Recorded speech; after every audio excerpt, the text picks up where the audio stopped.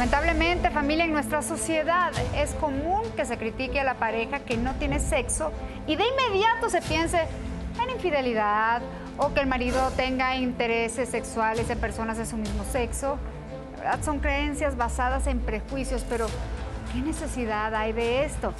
Si tú tienes problemas en tu matrimonio, por la razón que sea, busca solucionarlos de mano de tu pareja, a puerta cerrada. Y si esto no prospera, pues la terapia es una alternativa mucho más saludable que las dudas, las especulaciones o los pleitos.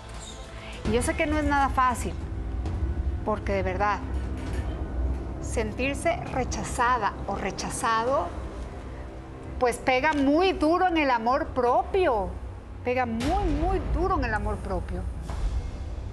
Jorge, ¿por qué no te has dado el tiempo, te lo vuelvo a preguntar, de, de hablar con soledad?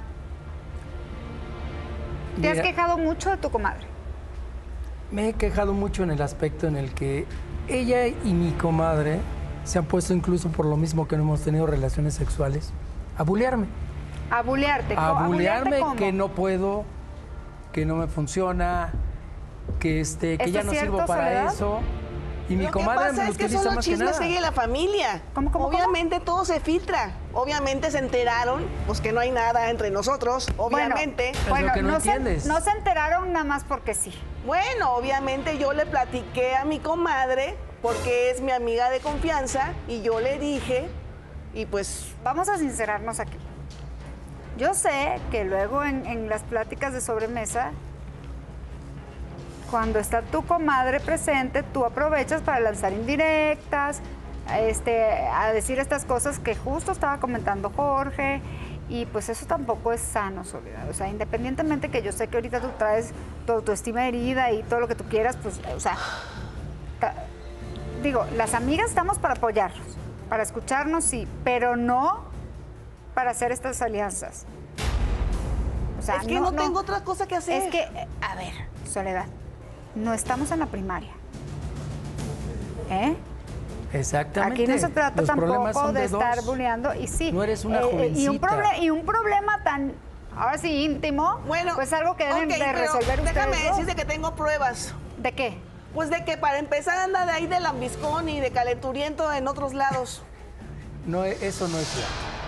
Eso no es cierto. Tenemos problemas en la intimidad porque no lo hemos platicado los dos. Porque se ha encargado de que la familia discuta.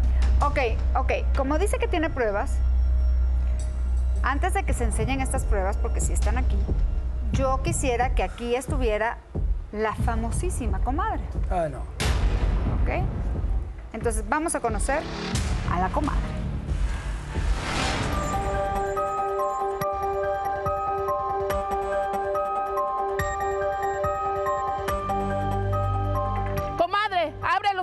Jorge se está burlando de ti.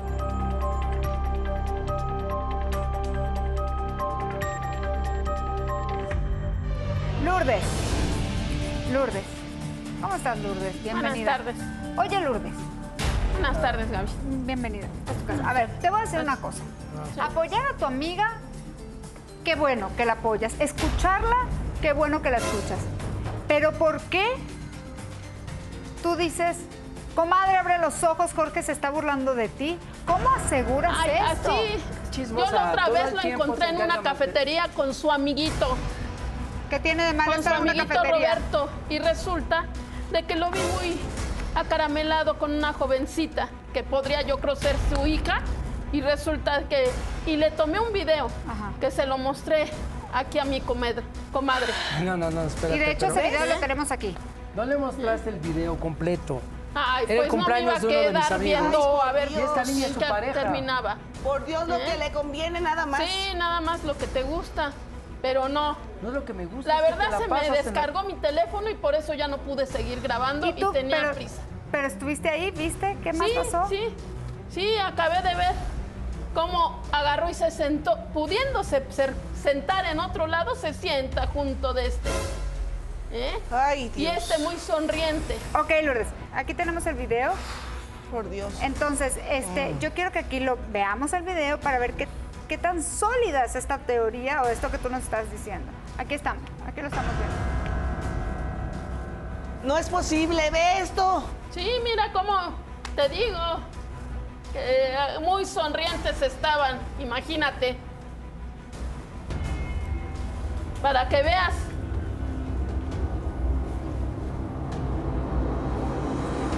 ¿Pero qué significa eso? Es la novia de un amigo. Te digo que ojos. cumpleaños Yo lo que veo- yo lo que veo-. Dios, ¿y Perdón. todo lo que yo hago? Perdón, yo lo que estoy viendo es a una chava platicando con dos hombres.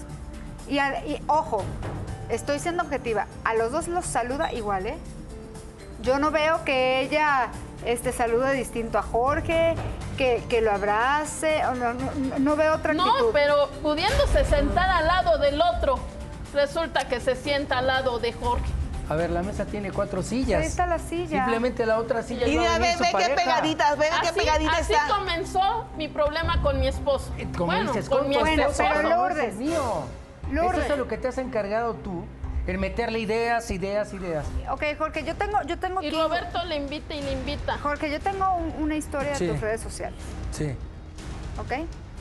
Donde tú platicas con la novia de tu amigo, ¿no? Entonces, yo quiero que veamos qué es lo que tú platicas tanto con ella, ¿no? ¿Qué es lo que tienes que platicar con ella? Vamos a ver. Ay, Dios. Miren, trajo a su novia, estamos Mira, echando tres novia de mi un ratito. Está aquí el buen Dale, amigo también. Feliz cumpleaños. ¿Qué tal? Estamos aquí en el cumpleaños de mi amigo Ramoncito. Esa es la misma niña. Ah, ¿verdad? Ese no es el video Esa que es la misma niña que los, que los saludó. Bueno, video. me tuve que salir de la cafetería, tenía cosas que hacer, no me mujeriego. iba a quedar. Y déjatelo de mujeriego, ahora hasta que soy homosexual. El otro día ¿Cómo? estaba inventando que estaba yo, que andaba yo con mi amigo. ¿Cómo? O sea, ya porque es Se la vive con Roberto todo el Bueno, tiempo. pero- Está O sea, y tú te la vives con Lourdes todo el tiempo. Ya no sales conmigo a los partidos No, de pero no fútbol. quiere hacer nada ya no sales a los bares, ya no sales a ningún lado. Pero quieres ¿por qué estar metida no en la casa. estar no, sí quiero. Le Pero gusta resulta andar que se te saliendo hace con aburrido Roberto, salir nada más. con nuestras amistades. ¿Quiere que salgamos juntos nada más?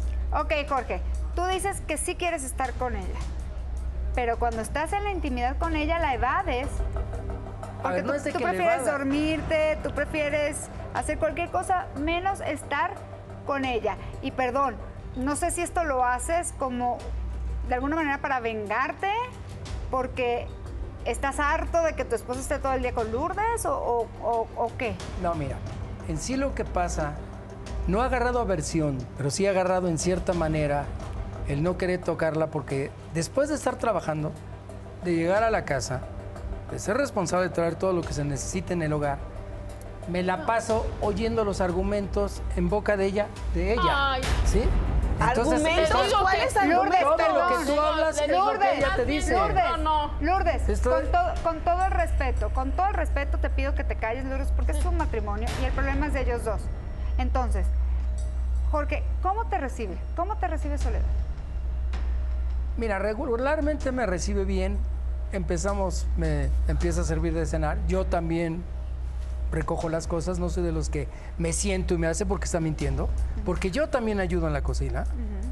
Y en el momento en que empezamos a Pero platicar, no pasa nada. saca ese problema. Pero no pasa nada. Sí, pero empiezas a platicar ese Ay. problema y en base a estarme ¿Qué diciendo pasa? que soy ¿De un nada mujeriego, sirve esto? que ando con estas personas, Soledad, que, que sí, es- soy homosexual, algunas veces, digo, oye, espérame. O sea, ¿cómo me vas a traer o, O sea, de qué manera empieza a quieres que tenga atacar intimidad todo, si me estás de atacando de- después de los cinco minutos, minutos de tranquilidad? ¿Cómo? Empezamos a cenar muy bien y empiezo a utilizar los argumentos de su comadre para atacarme diciendo que yo ando con jovencitas. Ya viste ahorita este video Ajá, en el sí. cual me están diciendo que ando con jovencitas. No, no, no, o sea, realmente mi trabajo es fuerte, me la paso peleando, soy abogado, todo el tiempo discuto con la gente para llegar a discutir a mi casa es cuando menos quiero discutir. Ay, más bien no. Ok, no eres se abogado. te- Eres abogado, entonces debe ser muy bueno precisamente para llegar a acuerdos. Regularmente con las parejas logro que lleguen a un acuerdo y digamos que el 90% de los divorcios logro convencerlos de que no se divorcien. Entonces, ¿en casa de herrero cuchillo de palo o cómo? No, ¿Qué es pasa que yo estoy viendo que el mío va a ser de ese ¿Qué 10%. Estoy a punto de divorciarme tal vez. Pero, ok, yo quiero saber una cosa. Tal vez. Pero, ¿Y por qué no dices la verdad? ¿Por qué no digo la Tú verdad? ya Porque no, no deseas a tu- Tenemos un hijo en común. tú ya no Y deseas... estoy pensando qué es lo que vamos a hacer. Perdona. Tú ya deseas a tu mujer. No es que no la desee. Todavía me es atractiva, está bien.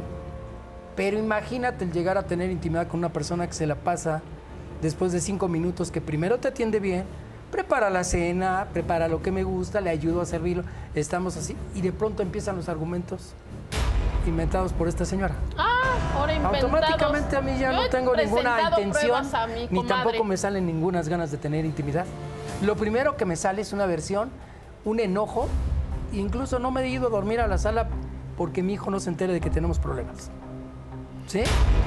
Estoy tratando de cuidar de que mi hijo, y más que nada voy a tener que llegar a una solución que una de dos, oye, ya no entra a la casa, vamos a ver qué es lo que hacemos. Híjole, Jorge, yo Porque ya no lo soporto. Ahora resulta. No, aunque te, suene, aunque te suene machista, ya no la soporto. Híjole, Jorge, yo te voy a Entonces decir creo una que es el fondo de nuestros males. Jorge, No, yo no, te voy a no, decir no, una ahora cosa. Échame la culpa a mí. Tu hijo sabe perfectamente lo que está pasando, sabe que ustedes tienen problemas. ¿Qué es lo Tu que no realmente está pasando? Mi hijo ya está grandecito y sí tiene una idea de esto. Lo que he intentado es que no vea hasta qué grado está, ¿no? Trato de guardar las apariencias aunque llegamos al cuarto y cada quien duerme de su lado. O a veces la- duermo abrazado y Oye, no hay y acción si estás por eso. tan harto de toda esta situación, si ya no estás a gusto, si te pesa llegar a tu casa, si te pesa, perdón, ¿eh? nada más estoy haciéndole preguntas, verla, ¿no? Porque simplemente no dices, ¿sabes que esto se acabó? Hasta que llegamos. Ah, porque es muy, es muy fácil. Si yo hago que ella me pide el divorcio, puedo estar tranquilo. Si yo le pido el divorcio, ustedes son muy vengativas. Son demasiado vengativas las mujeres con los hombres. Porque ustedes. Sí, lo perdóname, buscan. pero en el momento no, que no más a ver, eso no es una Ah. sé que justificación. esa situación eso va, no va a es una justificar justificación. todas, todas, todas No, sus no, no. sospechas las va a justificar en el momento que lo- No, yo le no es una justificación. Hay que Ahora tener inteligencia para no atacarlo. Abre los ojos. ¿Sabes qué? A mí se me hace que lo que tú tienes es que tienes problemas ahí. Ok. Qué fuerte familia. La falta de sexo en un matrimonio, pues no siempre tiene que ver con la pérdida de interés sexual por parte de uno de los integrantes.